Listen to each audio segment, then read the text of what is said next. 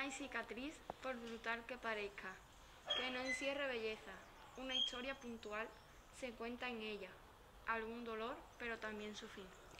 Las cicatrices, pues son las costuras de la memoria, un remate imperfecto que nos sana dañándonos, la forma que el tiempo encuentra de que nunca olvidemos las heridas.